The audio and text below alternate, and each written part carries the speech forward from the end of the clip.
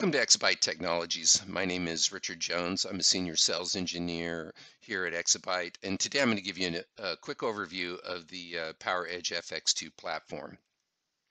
The platform is an idea of converged infrastructure utilizing small uh, building blocks, the chassis. It provides the flexibility of a rack server uh, with the density of a blade chassis. It allows you to run uh, multiple workloads. Uh, for instance, a great platform for dense virtualization.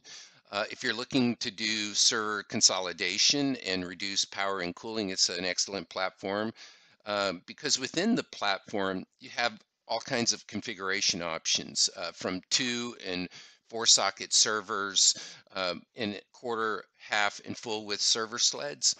Uh, and storage nodes. Uh, the FD332, you can support up to three of these in the chassis.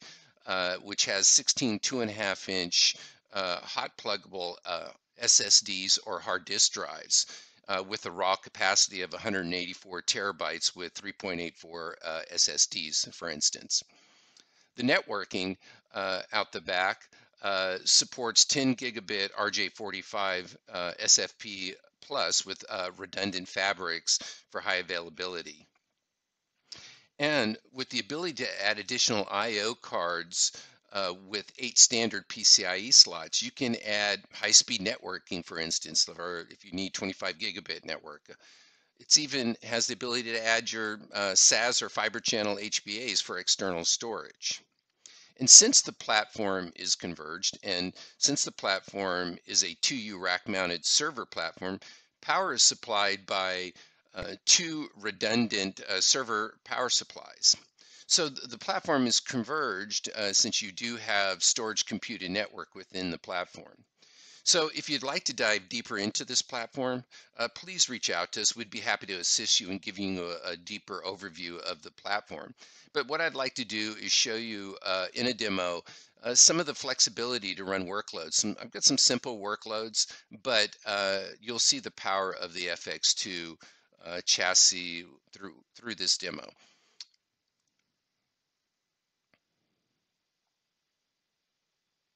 Okay, let's jump into this demo. I need to log into the chassis management controller. Just type in its IP.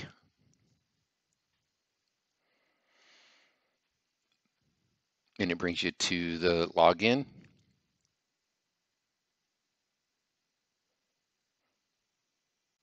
So when we first come into the chassis management controller, it's just going to give us, the dashboard's just going to give us an overview of the FX2.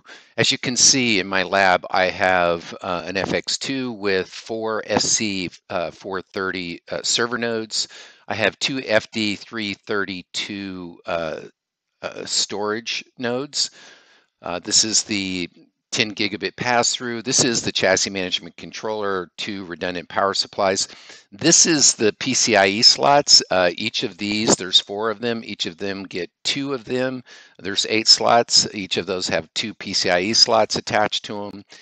Uh, you can see internal fans. You can see that they're all green and the airflow.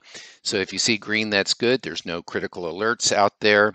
So in my uh, for my environment for this quick uh, demo, I, I, have these servers set up. This is my uh, CentOS machine, uh, and he's attaching to my TrueNAS NFS mounted uh, storage array, which is using the FD332 as its backend storage. This is my ESX host that has uh, its storage with this FD332, which is attached to another TrueNAS uh, server with uh, iSCSI. So eventually this environment will be a full vSAN because vSAN, minimally you need four nodes in a vSAN and with this amount of storage, I have a great uh, virtualized environment for uh, virtual SAN and it can scale by adding another chassis, more nodes, uh, so I can scale up and scale out.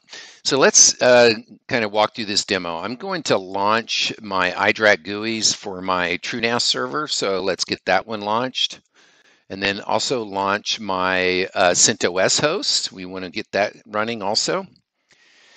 And that way, when we do launch this, it takes us directly to the server's iDRAC. So now I can manage this server directly. I could actually type in the IP address right here and get directly to that host without going through the chassis management controller also. So when I launch my console, it's going to bring up uh, that server's booted. It's going to show us the actual TrueNAS uh, interface. Uh, and it's telling me to get to the user interface in the dashboard to go to 10.10.6.138. So let's go take a look at that. Let's go to 10.10.6.138. And that'll take me directly to the dashboard for the TrueNAS server, my NFS server.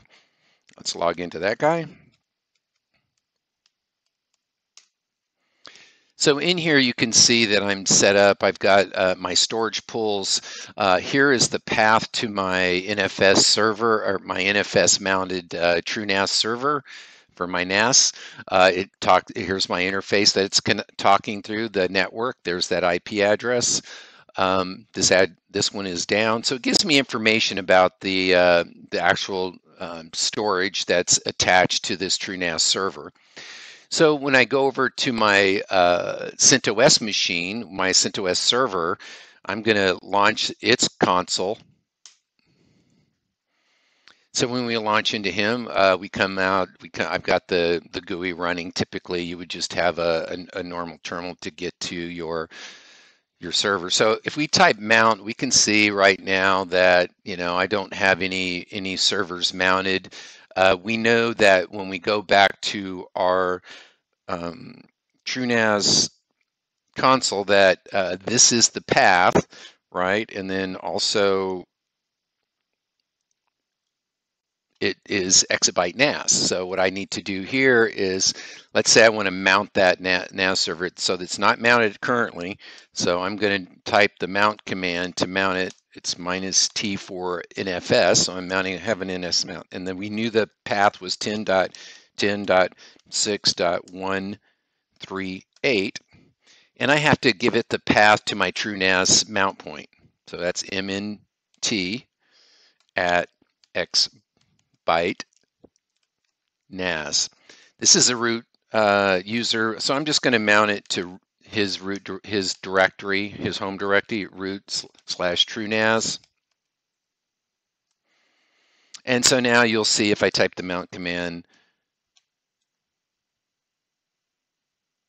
it shows that it's mounted. Here it is. This is my mount to TrueNAS.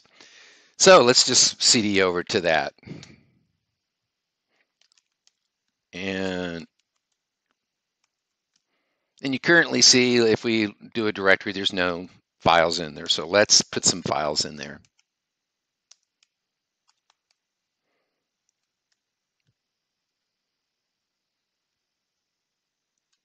Yeah, let's put about four files in there.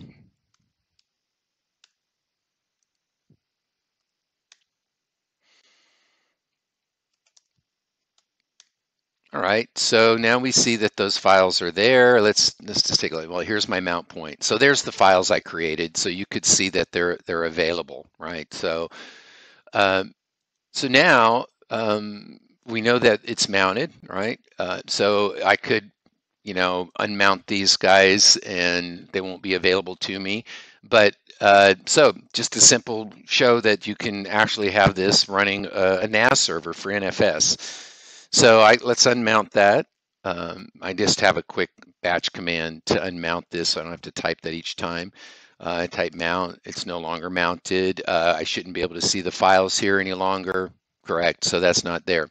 So, but so it just shows the the versatility of the of the uh, FX2.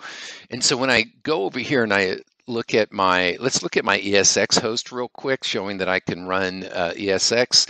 Let's go ahead and launch its GUI. And then when, when you launch the console for this guy, you're going to see this is my ESX host. I, I attached with my uh, ESX client to this address 10.10.6.242. So let's go over to there, 10. 10.6.242. 242. All right, I'm now in my ESX client. I'm logging to my ESXi host. And as you can see, I, have I've got a at least one uh, one workstation running on this as a um, as a Linux host. But right now, I just want to kind of just uh, tell you right now, if you if you really want to dig deeper into the FX2 and the overall chassis, uh, I would love to kind of be able to give you uh, an overview. So reach out to us if you have any questions uh, that you would like to have a, a demo or kind of go over a, a, deeper dive into the FX2 and, and use cases and how you might set this up.